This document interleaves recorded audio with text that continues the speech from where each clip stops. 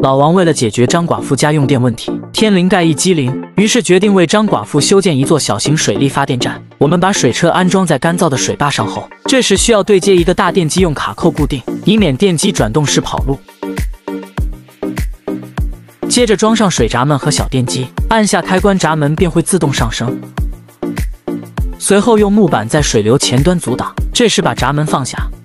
我们吃碗螺蛳粉，静静等待水位上涨。水位差不多就可以把闸门打开。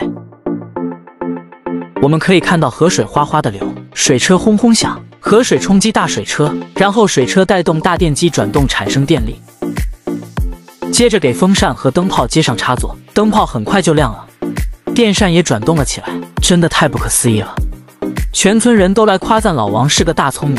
有了这个装置，张寡妇再也不用怕黑了。有喜欢的请点赞关注，每天分享有趣的手工制作。